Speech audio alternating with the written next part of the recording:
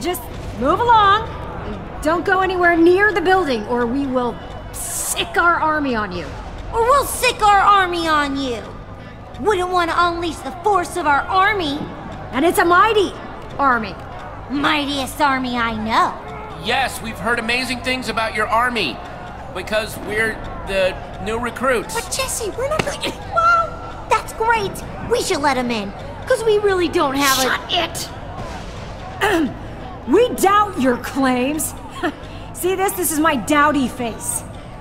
Hey, army! You too, Jeff! Let's take these invaders out!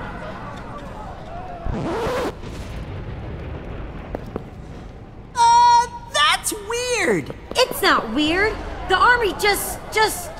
Uh, took a power nap. Now they're stronger than ever.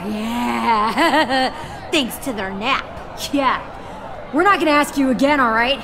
You just skedaddle before our well rested army makes you regret it. They're gearing up. Yeah, it's the biggest army you've ever heard. Right here. Is that an audio disc? You're an audio disc. Yeah, what kind of morons would have a jukebox sitting just out of view behind the city's parapets? Fine. You have outfoiled us. We don't have an army. Mm, yeah, I know, but uh, still can't let you in. Sorry. Really, it's for your own good. That building you're pointing at? That's Romeo's challenge. Yeah, it's nothing more than a death trap. The worst kind of trap.